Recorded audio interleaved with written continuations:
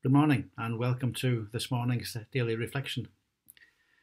In my last reflection from an earlier chapter from the intriguing book of Daniel, I told how the book fairly accurately described much of the culture and history of the 6th century BC Babylon. How it described King Belshazzar, who was unknown to history, which allowed historians to question the historical accuracy of the book until archaeological discoveries in the 19th and 20th centuries confirmed that Belshazzar had indeed been a Babylonian king.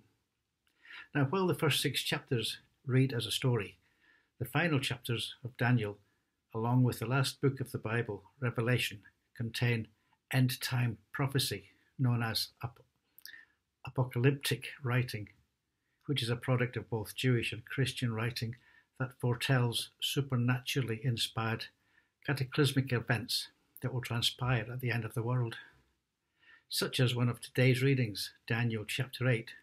It's a long, it's a long chapter, but here are the first few verses. During the third year of King Belshazzar's reign, I, Daniel, saw another vision, following the one that had already appeared to me. In this vision, I was at the fortress of Susa, in the fortress of in the province of Elam, standing beside the Ulai River. As I looked up, I saw a ram with two long horns standing beside the river. One of the horns was long, longer than the other, even though it had grown later than the other one. The ram butted everything out of its way in the west, to the north, and to the south, and no one could stand against him or help his victims. He did as he pleased and became very great. Now, while I was watching, suddenly a male goat appeared from the west crossing the land so swiftly that he didn't even touch the ground. The goat, which had one very large horn between its eyes, headed toward the two horned ram that I had seen standing beside the river, rushing at him in a rage. The goat charged furiously at the ram and struck him, breaking off both his horns. Now the ram was helpless, and the goat knocked him down and trampled him. No one could rescue the ram from the goat's power. The goat became very powerful, but at the height of his power, his large horn was broken off. In the large horn's place grew four prominent horns, pointing in four directions of the earth. This is the word of the Lord. Now, those verses, as I said, might mean less than a child's nursery rhyme, but this is the way apocalyptic writing was written. So, what does it mean? I saw a ram with two long horns standing by the river. The ram butted everything out of the way to the west, to the north, and to the south. The two horned ram was the king, the kings of Media and Persia, who eventually conquered the Babylonian Empire. Historians have since discovered that the Persian ruler always bore the head of a ram as he stood at the head of his army. A male goat appeared in the west. The goat charged furiously at the ram. The goat knocked him down and trampled him.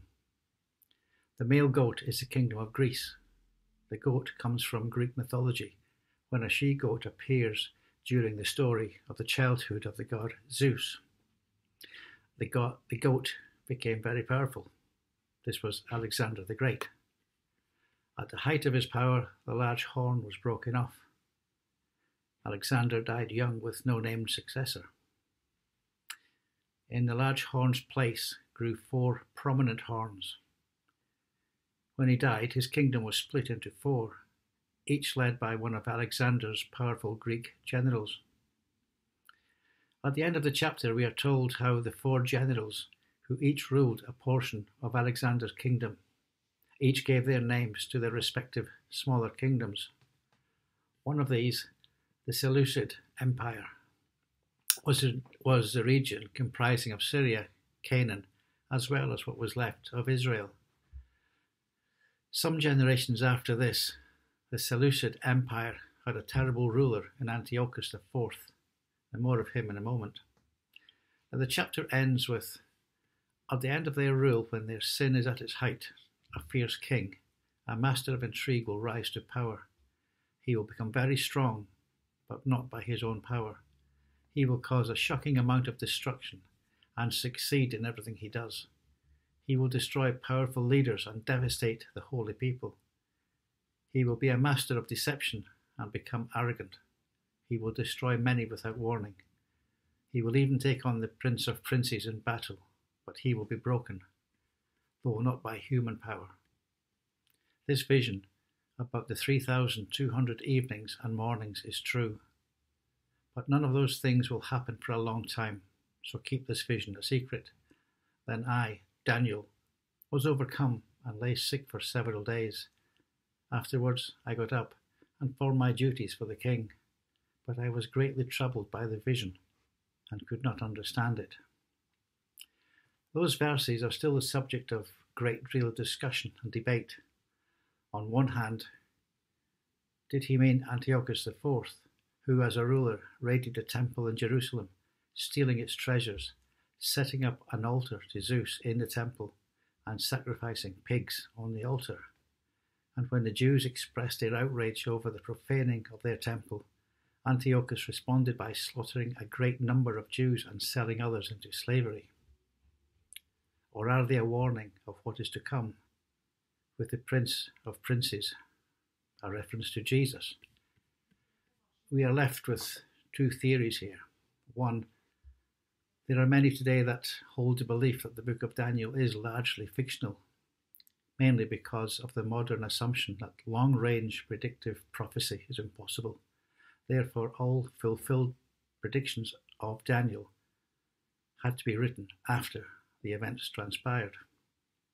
Secondly, but linguistic evidence, such as the Dead Sea Scrolls and Belshazzar as king, who was unknown until the 19th century, tends to throw much of that theory out of the window.